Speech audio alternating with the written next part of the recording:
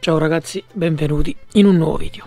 E allora ragazzi, oggi parliamo di 5 cose da non fare, 5 errori da non fare, da evitare con le batterie al litio. Numero 1.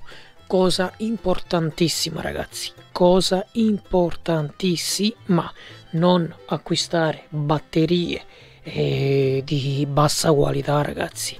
Eh, perché? Perché le batterie di bassa qualità montano celle non queste che sono uh, già celle brandizzate, celle eh, buone, Samsung parliamo, le, le, batterie che trovi in commercio per esempio su Amazon, su Alibaba, su AliExpress, su eBay, eh, economicissime, ci sono pacchi batterie a 40, 50, 60, 70, 80, 90, anche 100 euro che nella realtà minimo dovrebbero costare il doppio non dico oltre uh, il doppio però su questo poi in un prossimo video andremo a fare l'analisi reale di quanto devono costare dei pacchi batterie buoni di qualità. Perché ragazzi oggi si sta muovendo anche ci sono quelli che vendono batterie false eh, a caro prezzo ci sono quelli che vendono batterie false a bassissimo prezzo ma ci sono anche quelli che nonostante ti montino celle discrete, buone, di qualità, però ragazzi se ne approfittano e vogliono tanti, tanti, tanti soldi. E questo a me non piace completamente.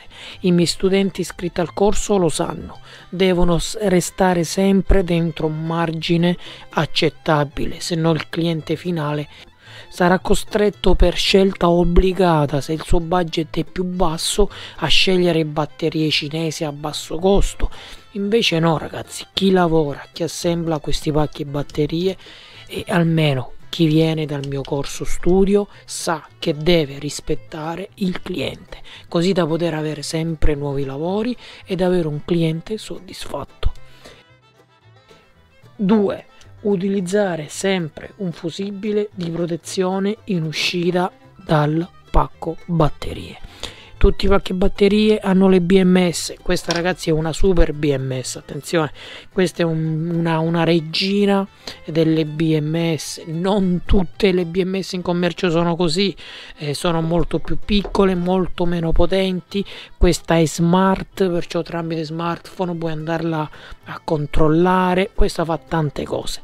Però in uscita cioè questo questo cavo ci va sempre un fusibile per protezione perché se a valle del fusibile per qualsiasi motivo succede un cortocircuito, tu hai sempre quel fusibile che ti protegge l'eventuale pacco batterie, anche se la BMS deve avere integrata sempre o quasi sempre, almeno che non siano di bassa qualità, delle protezioni di cortocircuito. 3. Utilizzare sempre un interruttore generale di linea, così da non far sì che la batteria si scarichi.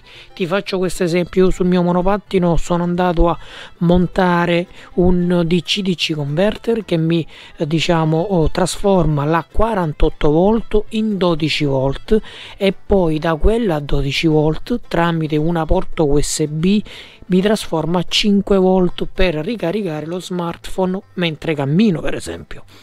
E che cosa succede? All'inizio non avevo un interruttore su questa linea, perciò questo oh, DC-DC converter e l'altro DC-DC converter, perciò che avevo dalla 48 in entrata alla 5 volt avevo tutte queste varie diciamo trasformazioni uh, di tensione. Tutto questo ragazzi mi consumava anche poco ma mi incideva sulla batteria. Anche se io lasciavo il monopattino fermo, non ci camminavo, eh, avevo un una perdita di eh, capacità. Perché? perché i DC-DC converter mi andavano a fare anche se piccolissimo un consumo della batteria. Perciò sempre montare un interruttore sempre così da escludere la linea quando non serve e non avere assorbimenti eh, per nulla. 4 evita di fare cortocircuiti in uscita per come abbiamo detto prima usa sempre fusibile ma nonostante tutto ci sia il fusibile evita di fare cortocircuiti in uscita. Se vai a smontare la batteria attenzione ai due cavi positivo e negativo.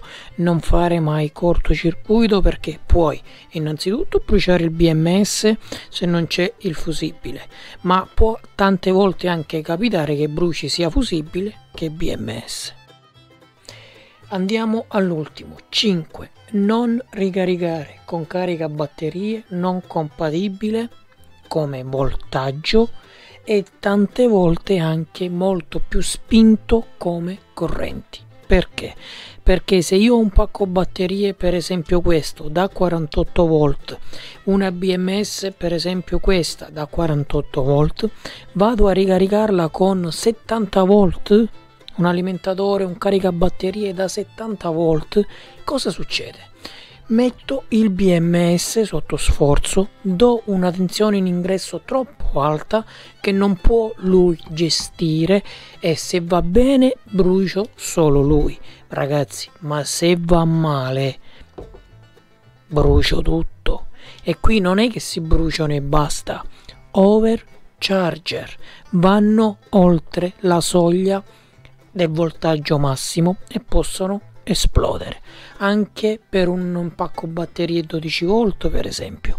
Non puoi ricaricarlo con caricabatterie per 48 volt. O ancora non spingere al massimo con la corrente dei caricabatterie perché se tu ricarichi con un alimentatore per esempio da 10 ampere e il tuo BMS, non in questo caso ovviamente, ma quei BMS cinesi e basso costo, bassa qualità, possono massimo accettare 2 ampere e tu gliene vai a mettere 10, 5, 4. Eh, ragazzi, problemi, problemi grossi. Fai molta attenzione. Se sei interessato a questa tecnologia, ti ricordo sempre il mio corso Battery Maker. Niente ragazzi, per questo video è tutto.